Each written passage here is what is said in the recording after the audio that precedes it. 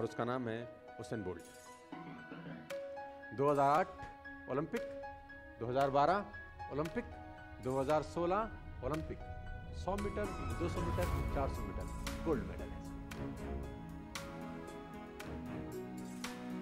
12 साल तक ओलंपिक में बादशाह कायम करना, आप सोच नहीं सकते कितना डेडिकेशन और मैं आपको बता दूँ वो अपनी पूरी ज़िंदगी में प्रोफेशनली पाँच मिनट से ऊपर नहीं दौड़ा।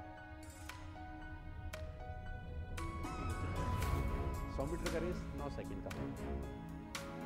तीन बार दौड़ा होगा तो तीस सेकंड दो सौ मीटर का रेस अठारह उन्नीस सेकंड का होता है। तीन बार दौड़ा होगा तो एक मिनट चार सौ मीटर का रेस छत्तीस पैंतीस चालीस सेकंड का होता है। तीन बार दौड़ा होगा तो डेढ़ मिनट टोटल कर ले तो पाँच मिनट यानी वो परफॉर्म पाँच मिनट भी नहीं किया, लेकिन उसके पास इतने पैसे हैं जो आप सोच नहीं सकते लेकिन उस पाँच मिनट की परफॉर्मेंस के पीछे हज़ारों घंटे की मेहनत थी। हज़ारों घंटे की ट्रेनिंग्स थी। अगर आपको लगता है ट्रेनिंग से कुछ नहीं होता तो मैं आपको बताना चाहूँगा, ये आपको बहुत भयंकर पे करना पड़ेगा। पाँच मिनट की परफॉर्मेंस के पीछे हज़ारों घंटे का वर्कआउट